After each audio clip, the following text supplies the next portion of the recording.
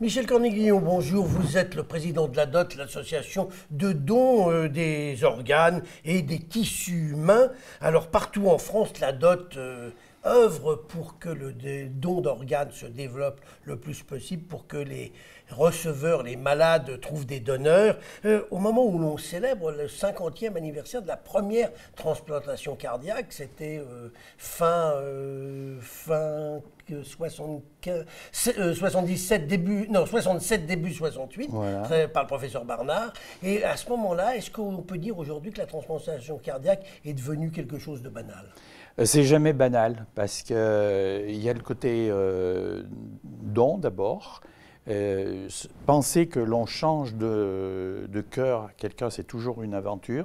Et en plus, c'est pas banalisé dans les résultats, parce que c'est pas automatiquement euh, le succès derrière. Euh, la première année, c'est l'année la plus difficile on considère qu'il y a 20% à peu près des, des transplantés qui euh, ne passent pas cette première année. Ensuite, les Mais il reste 80% de réussite. Voilà, et c'est ce qu'il faut voir. Oui. Vous avez parfaitement raison. Est-ce qu'on manque de cœur? Est-ce qu'il y a plus de gens qui attendent un cœur qu'il y a de cœurs disponibles il y a, On manque de tout en fait. On manque de tout parce qu'il y a à peu près 15 000 personnes inscrites en liste d'attente et il y a moins de 6 000 transplantations par an. Donc quand on fait la différence, on voit qu'il y a une grosse lacune. Et c'est pour ça que la DOT œuvre euh, en permanence pour euh, que les gens qui décèdent en liste d'attente soient de moins en moins nombreux. Alors, première chose, est-ce que ce manque d'organes, cœur, mais autres organes, il y a le foie, il y a les reins, j'imagine, est-ce que ça existe aussi à l'étranger? Oui, qu'ils ont tous le, tous le même problème. Oui, malheureusement partout, oui. Parce qu'il y a des pays où on parle de trafic qui ah, heureusement, nous sommes épargnés euh, par ce genre de choses. Oui, nous sommes euh, absolument épargnés. Et euh, moi, j'aime pas trop quand on parle, si vous voulez, de, des exactions de certains. Parce que ça nous salit, nous, alors qu'il y a une transplantation qui est propre en France. Et il y a des gens après qui prennent, qui disent oh bah si c'est trafic, bon, voilà, et qui prennent ça un peu comme prétexte quoi. Et, c'est important de dire que notre transplantation, elle est absolument clean.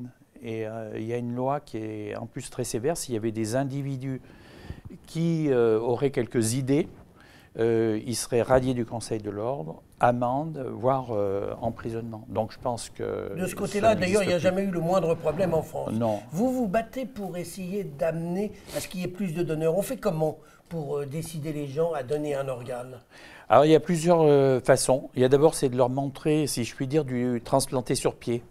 Vous, euh, par exemple, ça fait 36 ans, 36 36, oui, bientôt 37. Bientôt 37 que vous êtes euh, transplanté du cœur. Voilà. Vous êtes le plus vieux survivant de la planète. Je suis le plus ancien.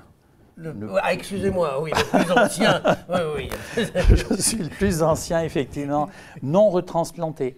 Parce qu'il y a des personnes qui ont été retransplantées euh, il y en a notamment une en France et qui a un an et demi de plus euh, du coup de vie avec le cœur euh, lui, de deux individus. la première fois c'était dans les années 80 donc puisque vous c'est 81. Voilà.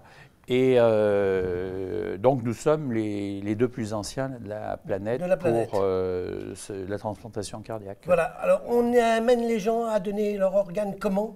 Alors on les amène à donner leur organe en les convainquant du bienfait de la transplantation, en leur disant aussi que lorsqu'on est mort, ben, je vous dis ça à l'heure du petit déjeuner ou du déjeuner, je ne sais pas. Du petit déjeuner, du petit déjeuner, Et, eh ben, on pourrit en terre.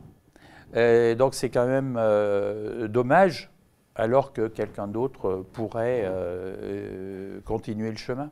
Voilà, donc aujourd'hui, euh, on peut avoir sur soi une carte disant je suis prêt à donner mes organes, c'est ça? Alors, euh, aujourd'hui, nous avons une carte d'ambassadeur, parce que vous savez que la loi a changé euh, par l'amendement Jean-Louis Touraine, qui a fait que normalement, nous sommes tous des donneurs potentiels.